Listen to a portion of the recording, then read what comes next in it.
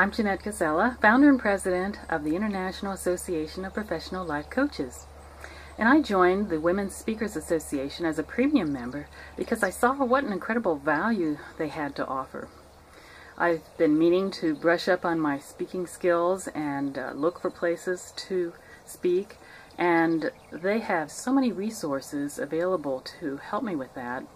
So I highly recommend anyone who wants to get their message out there through speaking to join this amazing organization and take part in all the benefits and features that they have for you as well as a really supportive community.